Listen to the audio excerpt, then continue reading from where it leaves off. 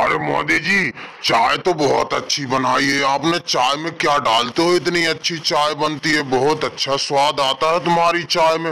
और कहीं चाय पीता हूँ तो इतना अच्छा स्वाद मेरे को कहीं मिलता ही नहीं है। जितना स्वाद आपकी चाय में मिलता है मेरे को। राहुल, तुम कहीं भी चाय पी लो, लेकिन मेरे यहाँ जैसी चाय आपको कहीं नहीं मिलेगी, क्योंकि इतना अच्छा स्वाद बना के जो देता हूँ मैं, इसीलिए मेरी चाय ज़्यादा बिकती है, इसीलिए तुम यहाँ चाय पीने आते हो, इतना अच्छा जो स्वाद आता है मेरी चाय में।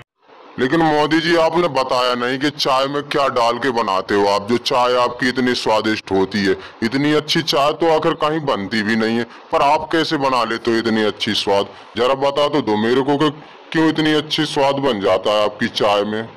अरे राहुल कोई अपने घर का राज कुछ बताता है क्या कि कैसे घर बनाया है, तुमने कैसे नहीं बनाया है?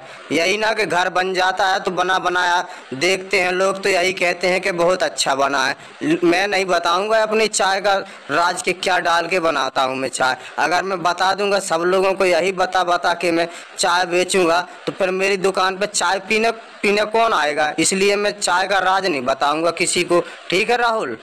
अरे मोदी जी, मेरे कहने का वो मतलब नहीं है कि तुम सबको बता रहे हो। मैं तो खाली पूछ रहा हूँ कि अगर कभी मेरा मन करे अगर चाय पीने का तो मैं अपने घर में बना के तो पी सकूँ इतनी अच्छी चाय। लेकिन मेरे घर में भी इतना अच्छा स्वाद नहीं आता है चाय का, जो स्वाद आपकी चाय में आता है। इसीलिए मैं पूछ रहा था मोदी जी आपसे लेकिन राहुल, मैं तुमको अपना राज नहीं बताऊँगा कि मैं क्या डाल के बनाता हूँ चाय। ठीक है राहुल, इतना ही बोलना चाहूँगा तुमसे। तुम चुपचाप चाय पियो अपने और पैसे दो और जाओ।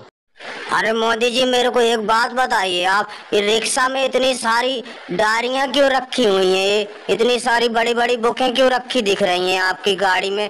क्या रखा है बुकों में? आपके बुकों में भी बेचने लग गए हो चाय के साथ साथ अरे योगी जी, ये बुक है बेचने के लिए नहीं है। ये तो नोटबुक है, इसमें उधारी लिखी पड़ी है। इतने सारे लोग आते हैं मेरे यहाँ चाय पीने के लिए और महीने में पूरा पेमेंट करते हैं। इसीलिए मैं सबका अलग अलग खाता बना के रखा हूँ, ताकि मैं भूल ना जाऊँ। याद नहीं रह पाता ना, इसलिए मैं लिख लिख के इसमें सब रखते जाता हूँ। दोस्तों, अगर आपको हमारा वीडियो अच्छा लगे तो वीडियो को लाइक करें, चैनल को सब्सक्राइब करें। मिलते हैं अगले वीडियो में, तब तक के लिए जय हिंद, जय भारत।